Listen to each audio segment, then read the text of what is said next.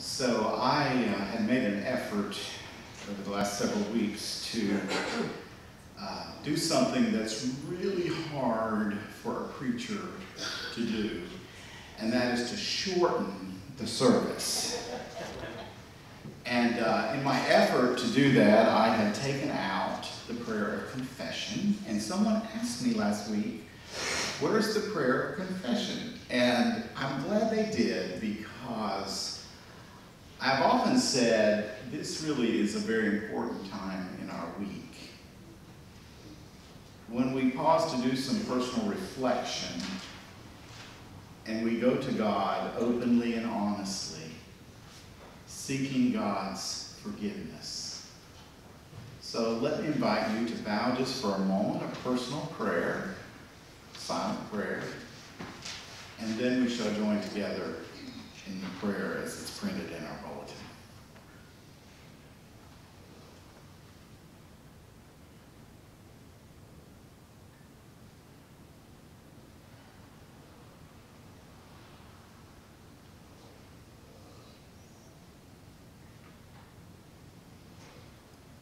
Let us pray together.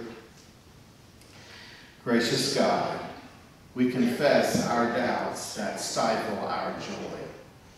Forgive us when we lack faith in you, and comfort us when our fears outweigh our praise. God, forgive us when we fail to trust you, and help us when we do not live as your faithful witnesses. Guiding God, forgive us when we are self-consumed and lack the time needed to serve our neighbors.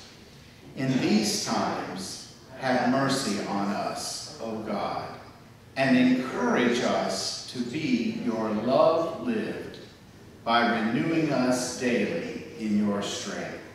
We pray. Amen. O God, hear our prayers of confession and forgiveness, and guide us from disbelief and distress by leading us into your hope-filled joy.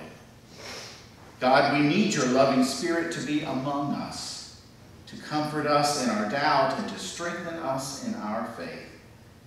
We receive gladly now your amazing grace in the name of Christ. Amen. If you uh,